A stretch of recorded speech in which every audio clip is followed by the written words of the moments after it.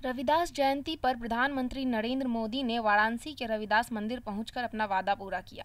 वहीं काशी वासियों के दिल में यह मलाल रह गया कि पीएम ने लंगर में उनका साथ नहीं दिया।